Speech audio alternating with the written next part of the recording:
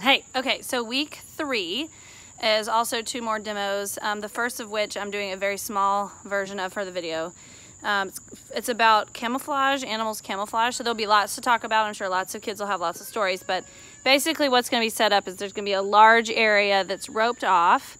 And then I have all these pieces of pipe cleaner cut up, um, all different colors. And we're going to, they're going to, um, they're to be sprinkled in in the square. I don't want to do this too much because I have to have to pick it up. But the kids are going to, you're to set a timer. Sorry. you're to set a timer. There's our little square. Set a timer and for five minutes and the kids are going to um, pick up as many pieces as they can in five minutes. So we've got our timer, we've got our pipe cleaner, we've got our roped off area. And this, um, the way it's going to be set up today is there's just going to be one of these areas, even though we've got two science times.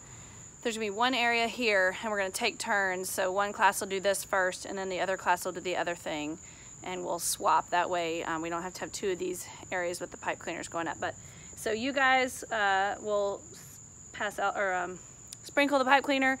Then the kids are all going to pick up as many as they can in five minutes, and then you're going to talk about how the various colors were easier or more difficult to see um, just based on what color they are. So that's that one. And that is number 57, blending. And then the other demonstration is number 58, ground temperature. So for this one, we're gonna be digging a hole. So I'm actually gonna dig a hole in my yard, but here's a spot with no, no grass. And so I think we'll let every class do this because it'll take some time, which is great, right? Uh, we'll find a spot like probably in the back in the wooded area where we play, where it won't matter, where the church won't mind.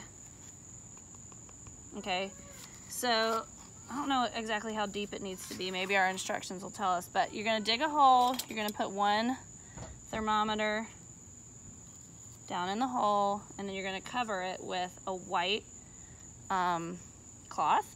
And then the second thermometer is just gonna hang out on the ground and you're gonna wait. Sorry, it's starting to rain, so I am rushing here. Let's see, what does it say? You're going to give it five minutes again and see what the temperatures read when you're done. So this is all about how animal, different animals live under the ground and over the ground. And um, again, these, these great, oh, this is, sorry, ground temperature. Um, and more great pictures on these CC connected sheets about where animals live and how they live underground because it's cooler there. So obviously you're supposed to find with this experiment that it's going to be much cooler underground than overground.